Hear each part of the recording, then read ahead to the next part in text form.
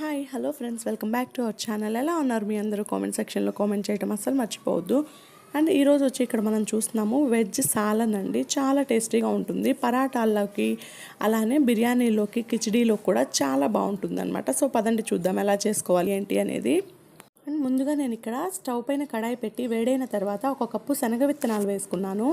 శనగ విత్తనాలు మంచిగా వేగిపోయేంత వరకు వేయించుకోవాలండి ఈ విధంగా. అండ్ ఈ విధంగా వేగిపోయినటువంటి శనగిత్తనాల్లోకి రెండు టేబుల్ స్పూన్ల నువ్వులు అలానే ఒకటిన్నర టేబుల్ స్పూను గసగసాలు వేసి వేయించుకోవాలి. అలానే నేను ఇక్కడ ఎండు కొబ్బరిని ముక్కలుగా కట్ చేసి వేసుకుంటున్నాను. మీరు కనుక తురుము వేసుకునేటట్లయితే ఎండు కొబ్బరి తురుము. లాస్ట్లో స్టవ్ ఆఫ్ చేసే ముందుగా వేసుకోండి. ఈ విధంగా వేసుకున్న తర్వాత వేయించుకొని వాటిని చల్లార్చుకోవాలి. పక్కన ప్లేట్లోకి తీసుకుంటున్నాను అందుకని.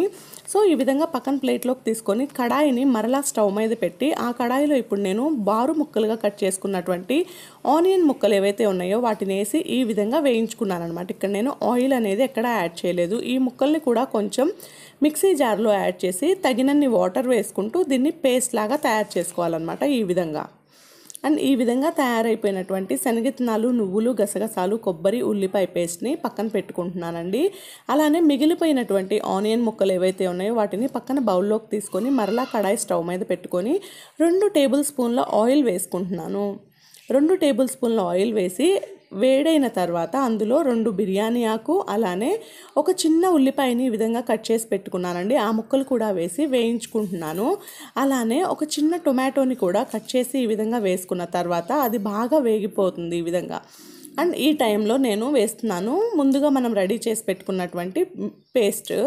మీరు కనుక మసాలా ఇష్టపడే వాళ్ళైతే పేస్ట్ వేసుకునే ముందుగానే అల్లం వెల్లుల్లిపాయ పేస్ట్ వేసుకోండి. అది అలా కూడా బాగుంటుంది. సో ఒక టూ మినిట్స్ పాటు తిరగమాతలో వేగిన తర్వాత పేస్ట్లోకి మీకు సరిపడినన్ని వాటర్ అంటే మీకు క్వాంటిటీని బట్టి వాటర్ వేసుకోండి. అలానే రుచికి సరిపడినంత ఉప్పు రుచికి సరిపడినంత కారం వేసి ఒక పొంగు వచ్చిన తర్వాత పెరుగు యాడ్ చేసుకోండి.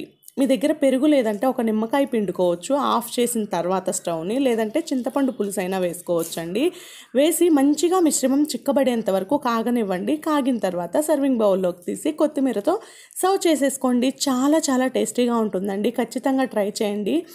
అండ్ ఎలా అనిపించింది రెసిపీ అనేది నాకు కామెంట్ చేయటం అస్సలు మర్చిపోవద్దు. అలానే మీకు గనక ఈ వీడియో నచ్చినట్లయితే లైక్ చేయటం షేర్ చేయటం అలానే మన ఛానల్ని సబ్స్క్రైబ్ చేయటం అస్సలు మర్చిపోవద్దు. Thank you so much for watching. Bye.